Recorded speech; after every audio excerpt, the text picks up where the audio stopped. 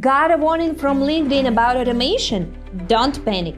Here's what it means and how to stay safe. Most automation tools put you at risk, but there's a way to stay undetectable. LinkedIn detects automation this way.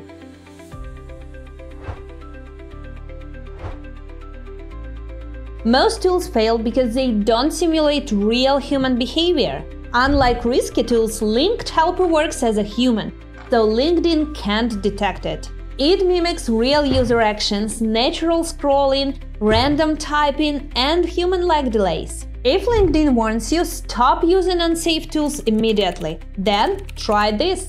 With Linked Helper, you can automate safely without LinkedIn even noticing. Here are three pro tips to keep your account safe. Number 1. Don't exceed 50 connection requests per day. Number 2. Use message delays to make outreach look natural.